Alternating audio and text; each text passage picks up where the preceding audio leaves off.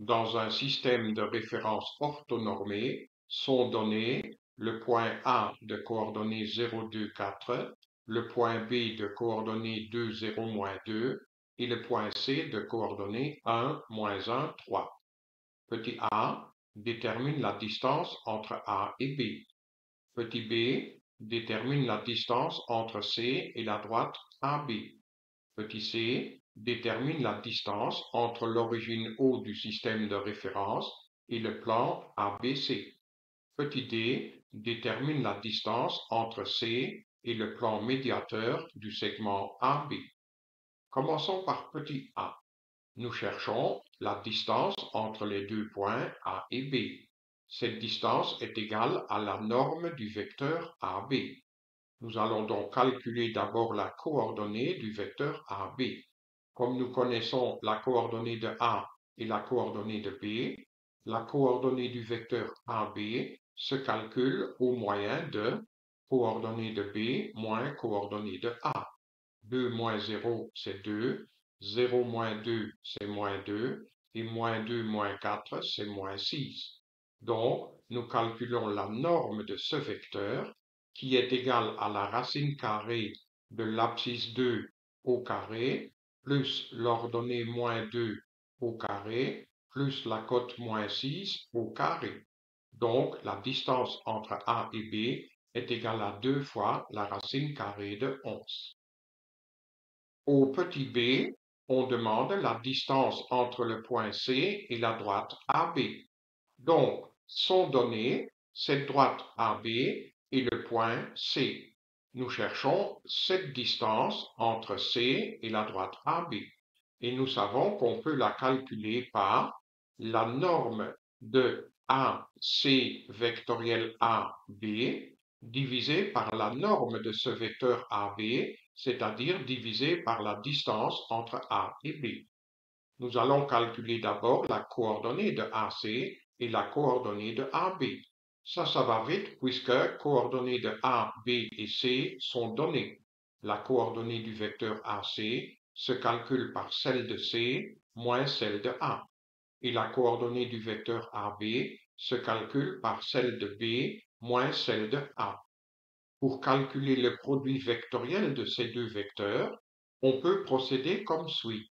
Nous écrivons la coordonnée du premier vecteur une fois verticalement et puis encore une deuxième fois, et on fait la même chose pour la coordonnée du vecteur AB. Voici sa coordonnée une fois et une deuxième fois. Ensuite, on supprime la première et la dernière ligne de ce tableau, et ensuite on calcule les petits déterminants que voici, nous calculons moins 3 fois moins 6, moins moins 1 fois moins 2. Donc nous calculons 18 moins 2, ça donne 16. Ensuite, on calcule ce deuxième déterminant, moins 2 plus 6, ça fait 4. Et puis, on calcule ce troisième déterminant, moins 2 plus 6, ça fait encore une fois 4. La distance entre A et B a été calculée au petit a. Nous avons trouvé que c'est 2 racines carrées de 11. Pour calculer cette norme-là, on peut mettre un 4 en évidence qu'on sort de la norme et ainsi il reste à calculer la norme de ce vecteur-là. Cette norme, c'est la racine carrée de l'abscisse au carré plus l'ordonnée au carré plus la cote au carré. Et ainsi, nous obtenons 2, puisque ce 4 se simplifie avec ce 2, fois la racine carrée de 18 divisé par la racine carrée de 11. La racine carrée de 18, c'est 3 fois celle de 2, et en multipliant en bas et en haut par la racine carrée de 11, nous obtenons comme distance demandée 6 fois la racine carrée de 22 divisé par 11. Au petit c, on nous demande de calculer la distance entre le point O et le plan ABC. Donc, sont donnés ce plan ABC et ce point O. Ce que nous cherchons, c'est cette distance entre O et ABC. Nous savons que cette distance peut se calculer par la valeur absolue du produit scalaire de ce vecteur AO par un vecteur normal n au plan, divisé par la norme de ce vecteur normal n, c'est-à-dire divisé par sa longueur. Comme vecteur normal au plan, on pourrait prendre le produit vectoriel de AC par AB que nous venons de calculer. Mais on peut aussi prendre un quart de ce vecteur, parce qu'ainsi la coordonnée devient un peu plus simple. Donc, comme vecteur normal au plan, ce vecteur de coordonnées 4, 1, 1 convient.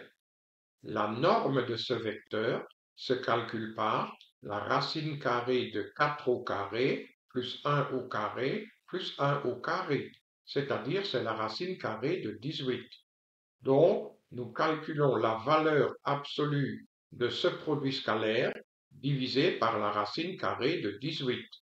La coordonnée du vecteur AO, c'est celle de O moins celle de A, c'est-à-dire 0 moins 0, 0 moins 2 et 0 moins 4, d'où 0 moins 2 moins 4.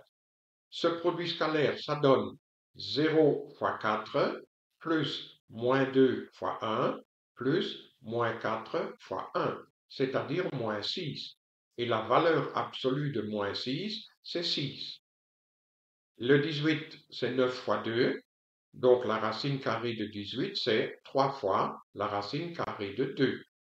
Ceci se simplifie avec le 3, ce qui donne 2 sur racine carrée de 2. Et en multipliant le dénominateur ainsi que le numérateur par la racine carrée de 2, nous obtenons comme distance demandée la racine carrée de 2. Au petit d, on nous demande de calculer la distance entre le point C et le plan médiateur du segment AB. Au départ sont donnés ces trois points A, et C, et ce, au moyen de leurs coordonnées. D'abord, il faut calculer la coordonnée de ce point M, milieu du segment AB. Le plan médiateur alpha du segment AB, c'est le plan qui contient ce point M et auquel le segment AB est perpendiculaire.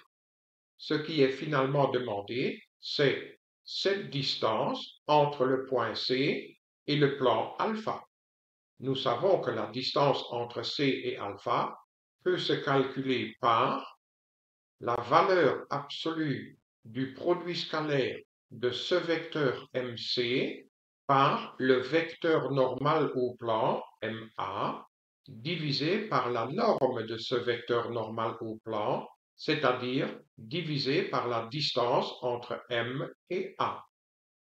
Pour effectuer ce calcul, nous avons besoin de la coordonnée du point M, de la coordonnée du vecteur MC et de la coordonnée du vecteur MA.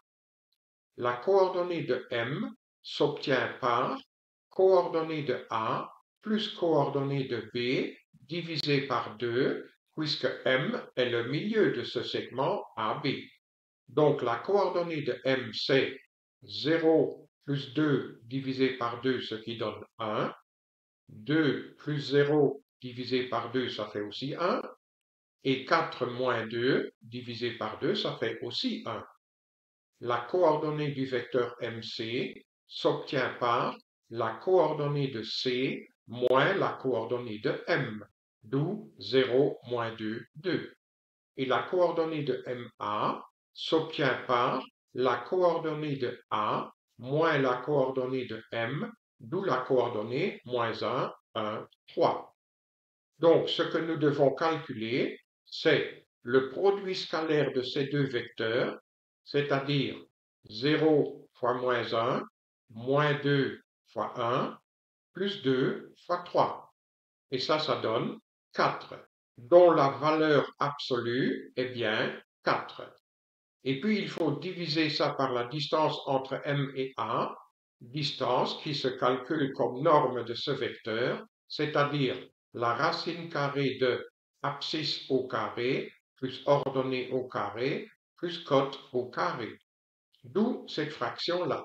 C'est 4 divisé par la racine carrée de 11, comme ceci et en multipliant dénominateur et numérateur par la racine carrée de 11, nous obtenons comme distance demandée 4 fois la racine carrée de 11 divisé par 11.